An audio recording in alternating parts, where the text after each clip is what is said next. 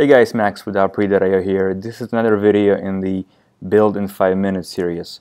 And in this video I'm going to show you how to use geolocation and then display your location on Google Maps component. So let's start.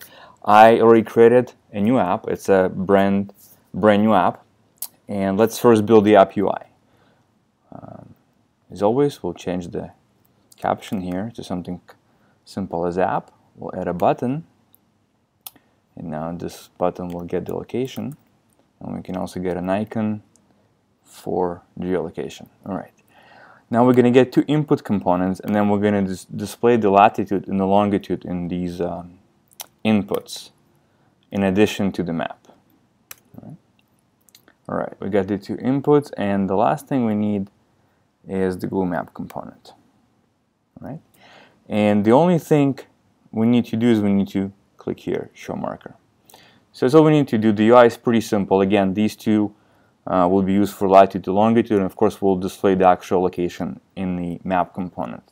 Now, let's create a geolocation service, and that's built in as a service in Appery.io app builder. Go to create new service, and then we select geolocation. Now, because this service is uh, built on existing API, there is nothing to set. The request is set and then the response is set. So we can go back to the page and add the service to the page. So from design, switching to data, and then we're going to add a device API, the device service. Right, so nothing for us to do for the input mapping, which is going to keep everything as default. But now on the output mapping, so first we're going to map the latitude to the first input, and the longitude to the other input. And then we're going to also map the latitude to Google Map component and the longitude. All right. So we're done with mapping.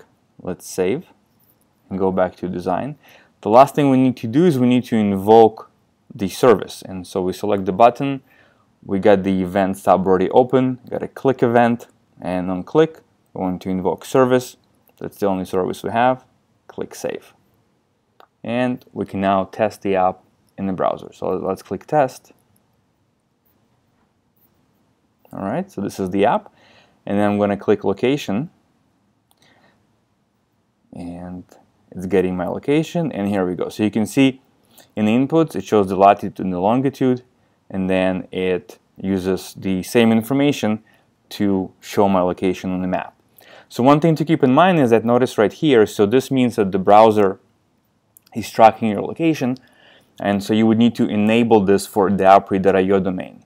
So you might get a message uh, from the browser uh, asking you for permission uh, if you allow the browser to track your location. So you need to say yes for the geolocation to work, or of course you can also say no, and then the location, the browser won't be tracking your your location. So um, again, this is in Chrome, and you'll see some somewhat of a similar message when you test the app on the device. All right, so you can see how fast and easy it is to add geolocation to your app and then also display the location on the map.